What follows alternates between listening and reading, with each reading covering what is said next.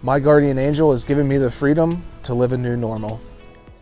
My guardian angels delivered me independence. Definitely giving me my freedom back and my life back. And I'm grateful and thankful to everyone for it. My name is Tyrone. and My service dog Spree brings me joy. My guardian angel is delivering me to freedom and independence to live my life, the new normal.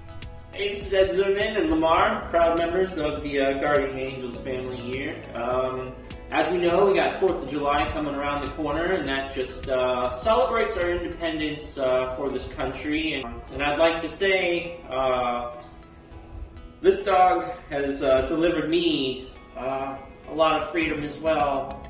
not only with my disability that I have that he can really sense real good, but with my other ones. My guardian angel, Destiny, has given me my independence back and relief from my disabilities.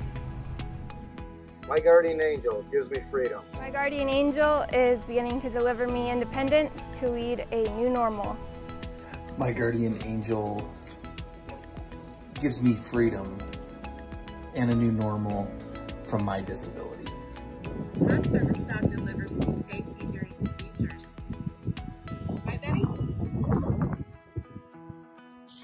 Hello, I'm Travis. This is my service dog King. Happy 4th of July. King gives me all the independence that I need now. He helps me stay stable, and we love him. My guardian angel delivers me a new normal. My name is Matthew McMurray, and my service dog Cobalt delivers me a very relaxing work environment. Happy 4th of July. My service dog Hunter is giving me my freedom back.